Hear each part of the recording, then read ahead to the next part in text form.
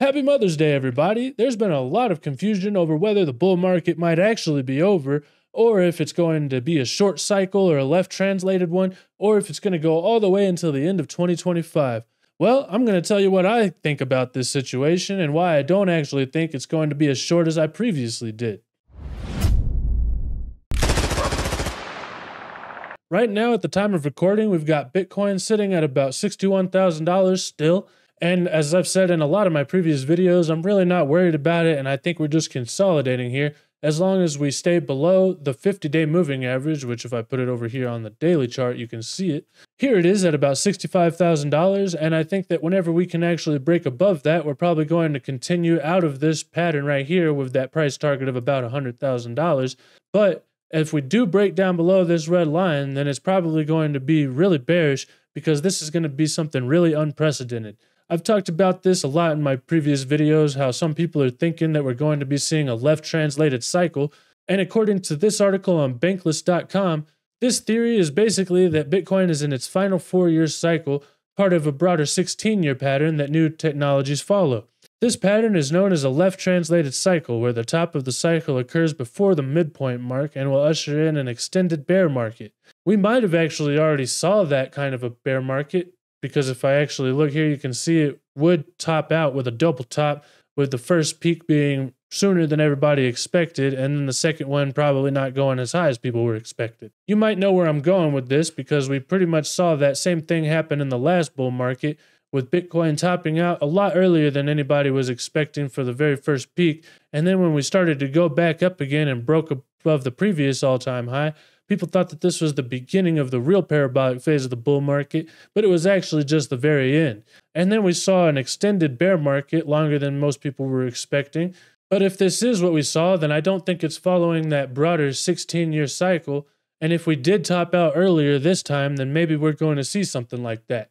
But I'm not really worried about it anyway, because as I've told you guys in the past, I don't think it's going to be dipping down below the production cost for very long.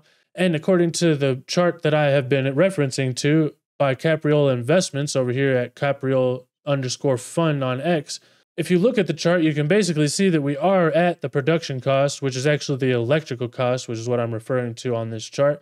And that's sitting at about $65,195 at the time of recording, with us actually just being below that right now. And that means that we're probably at a very good buying opportunity to get ready for the next parabolic phase. As you can see since the very beginning of this chart, which was way back in 2015, the price of Bitcoin has dipped below this red line every now and then, but it doesn't go significantly lower than it. And usually, whenever it's touching it, that's a real great opportunity to buy the dip because that usually means that we're going to be going super parabolic shortly after that. Every time we see a halving, which is actually these huge spikes that you can see with this red line, the production cost doubles, and that usually acts as the basement price for the actual price of Bitcoin, which is pretty much where we're at right now, with the production cost coming up to meet where the price is currently, meaning that Bitcoin is currently acting as a beach ball held underwater, like a lot of people like to call it. And the surface of the water looks to be at about $65,000, so hopefully we're going to go shooting up out of the water way above that price target here pretty soon. And hopefully, this is going to be the beginning of the next parabolic phase. This is what I expect to happen, and I think that this is a great accumulation point. But if we do break below this point, as I've been saying, about $60,000, then we're going to be below, significantly below this production cost for the very first time. And I really don't know what could happen after that. So hopefully, we're not going to break down below that, and I don't think we will. But it's definitely something to keep your eye on. But as you can see, we've been bouncing off of this parabolic support line right here, indicated by this yellow line. And if you extend it out following these bottom points, then you can see that we're pretty much where the bottom should be right now, which is coinciding perfectly with that red line. And it looks like a perfect opportunity for us to break out of this bull flag. As I said at the bottom of the market, right after the FTX collapse, these chart patterns are basically showing us that this is the very bottom and we're about to go up. But it's really hard to have this conviction whenever everybody is really getting scared. And a lot of people are even saying that we're going to be going back down all the way still to like $20,000 or something. But here in like the next month or two, if we go back and look, it's going to be really obvious that this was a great buying opportunity because, as I said, this is the basically basement for the production costs. And we've got this bull flag that's going to be breaking out to the upside, and these have like a 70 something percent chance of breaking up. But also, there is this parabolic trend line. And all of these things combined are signaling to me that we're probably going to be seeing an imminent breakout here in the next couple of weeks. But as I've said, we still could continue to trade sideways until we break above that 50 day moving average. I actually did previously think that we were probably going to continue this parabolic run and not consolidate here after the halving. But since we have gone down and sideways, I think that this is really a great sign that could send us out until at least the end of the year. But I'm still going to be keeping my eye out for what happens with the election because I think that actually Biden is trying to push up the economy right now and pump liquidity into the system so that he can buy votes. But I wouldn't be surprised if they would set it up so that the economy will collapse under Donald Trump basically right after he gets elected.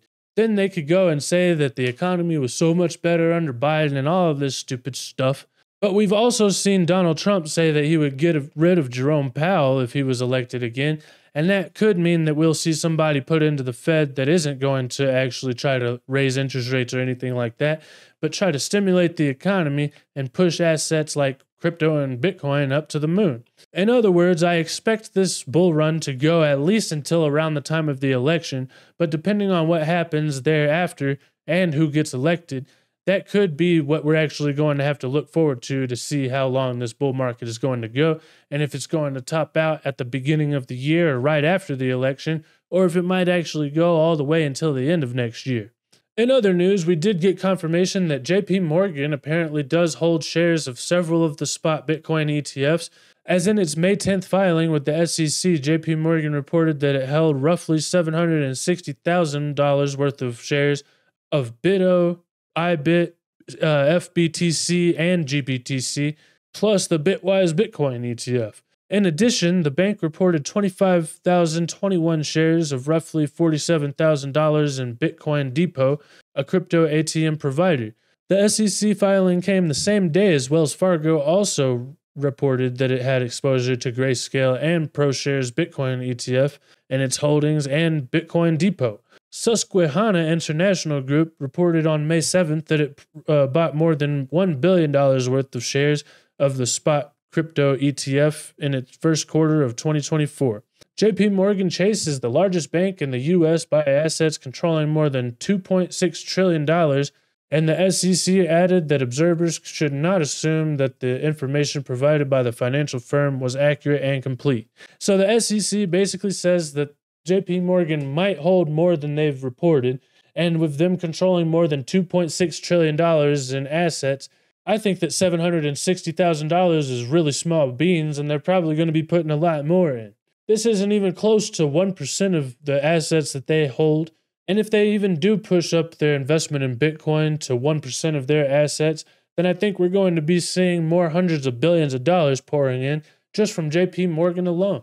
The irony is palpable, though, and I've been telling you guys to do what they're actually doing and not what they're saying, as Jamie Dimon has been continuing his attacks against crypto and ramping them up over the past couple of years. Back in 2017, Jamie Dimon slammed Bitcoin and said it was a fraud, saying it was a good option for murderers and drug dealers. Then in 2023, he said that if he was running the government, he would close cryptocurrency down.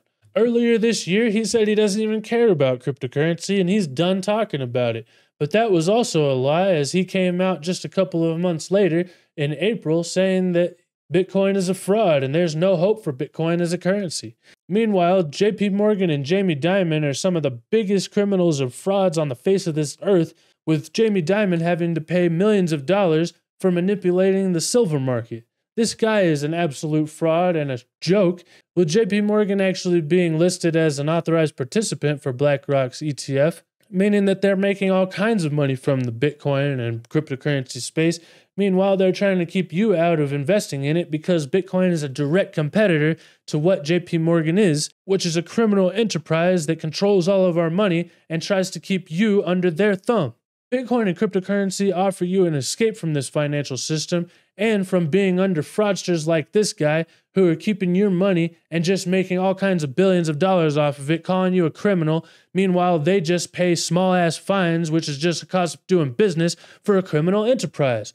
I'm sorry, I'm kind of ranting a little bit, but these guys really piss me off. And if anybody has actually listened to Jamie Dimon or JP Morgan, then they probably missed out on one of the greatest opportunities to reach financial freedom that they're ever going to get. Anyway, I'm going to stop talking about Jamie Dimon before I have a stroke. But let me know what you guys think in the comments. Is Jamie Dimon the real criminal here? Or is it people like you and me who just want financial freedom? Either way, thank you guys so much for watching. And don't forget to hit that like and subscribe button if I brought you value. But most importantly, don't forget to do only good every day and tell your mom Happy Mother's Day. I'll see you guys next time. Bye.